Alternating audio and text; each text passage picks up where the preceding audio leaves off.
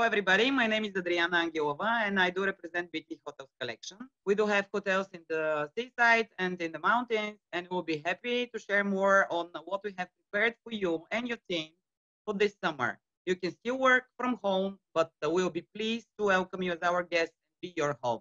My name is Mark Thomas, and I'll be one of the participants in the BBBA Travel, Tourism, Hospitality event taking place on the 18th of June, where we'll look at the impact on business travel, on leisure travel, and the hospitality sector in general here in Bulgaria.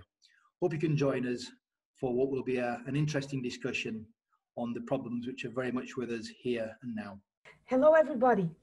I'm Violeta Milusheva, the Director of Sales and Marketing of the Kempinski Grand Arena Bansko, the hotel that decided to open its doors despite the interesting situation on the market on 22nd of May this year. If you're eager to get more insight into our experience with the new normal and as well some tips about your future vacation or business meetings, please join us on 18th of June at 11 a.m.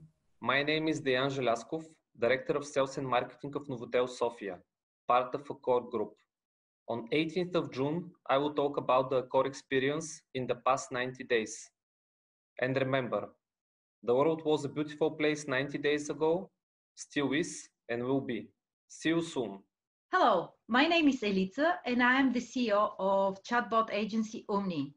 We create, maintain, and train chatbots for businesses from various industries However, our focus in hospitality.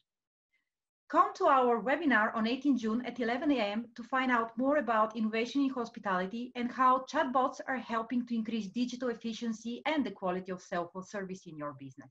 It's uh, Jenny from Ligna Group, and behind me you can see the beautiful Black Sea and the city of Sozopol. We are fr- we from Ligna Group. We invented something with which we'd like to help our hotels to be ready to welcome their guests so they can feel safe and happy and healthy during this absolutely crazy situation nowadays. So, see you on the 18th of June at 11 o'clock.